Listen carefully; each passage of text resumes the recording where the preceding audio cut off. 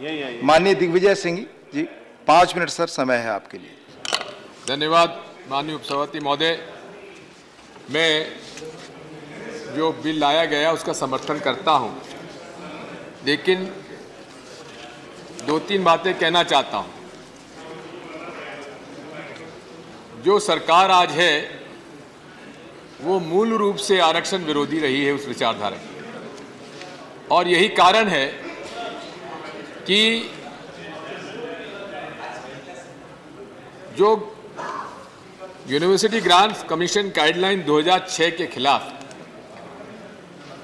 High court Allahabad ने निर्णय दिया कि इंस्टीट्यूशन के बजाय डिपार्टमेंट वाइज और सब्जेक्ट वाइज आरक्षण होगा, वो पूरी तरीके से अनुसूचित जाति, जनजाति और पिछड़ा वर्गों के लिए उसके खिलाफ था।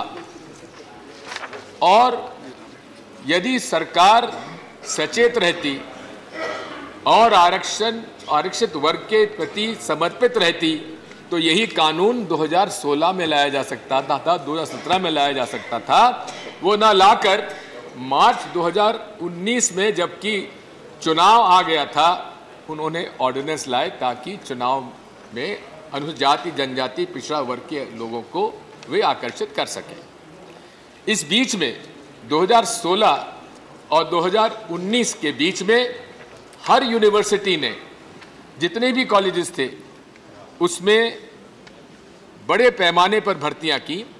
और जैसा कि अभी मेरे पूर्वक्ता माननीय मनोज झा जी कह रहे थे यदि आप डेमोग्राफिक प्रोफ़ाइल देखेंगे प्रो, प्रोफेसर्स की असिस्टेंट प्रोफेसर्स की लेक्चरर्स की और यहाँ तक कि नॉन टीचिंग स्टाफ की, वो अनुसूचित जाति जनजाति, पिछड़ा वर्गों के खिलाफ है। माननीय उपसभापति महोदय, मैं आपसे अनुरोध करना चाहता हूँ कि ये न्यायपालिका का जो रुख है, उसके बारे में इतना ही मैं कहूँगा कि न्यायपालिका में आरक्षण का कोई प्रावधान नहीं है, जिसकी वजह से जिस मानसिकता से आरक्षण के समर्थन में लोगों में होना चाहिए उसकी कमी महसूस की जाती है। अब, इस बारे में मैं आपसे अनुरोध करना चाहता हूँ कि जो बैकलॉग रह गया है 2016 से लेकर और 2019 के बीच में अनुसूचित जाति जनजाति पिछड़ा वर्ग का जो, अनुसूचित जाति जनजाति का जो संवैधानिक तौर पर बैकलॉग रह गया है, पहले भर्ती हर इंस्टीट्यूशन को पहले भर्ती उन वर्गों में से करना चाहिए, बाद में ही उसे फिर बाकी का, को, का होना चाहिए। मैं इस बात से भी सहमत नहीं हूँ कि एक्सेलेंस के नाम से उन संस्थाओं में आप आरक्षण ना दें। ठीक है, बहुत ही वो पोस्ट, जहाँ की बहुत ज़्यादा एस सी एस टी और ओबीसी के लोग क्वालिफाइड ना हो, लेकिन नॉन टीचिंग स्टाफ में तो कर सकते हैं। नॉन टीचिंग स्टाफ में colleges of institution of excellence में आरक्षण देने में क्या ऐतराज होना चाहिए? मैं इन दो तीन बातों का उल्लेख करते हुए अपनी बात यहाँ पर समाप्त करूँगा। आपने पाँच मिनट का समय दिया था।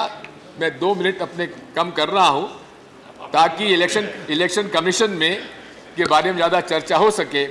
और इतना ही है कि माननीय मंत्री जी से मेरा अनुरोध है कि यहाँ से डायरेक्शन जाना चाहिए कि जब तक बैकलॉग पूरा ना हो जाए, तब तक S C S T O B S C S T के आरक्षित पदों की भर्ती ना हो जाए, तब तक अन्य उनको पदों पर इन्हीं वर्गों का नियुक्ति करना चाहिए। धन्यवाद। धन्यवाद, मान्य दिग्विजय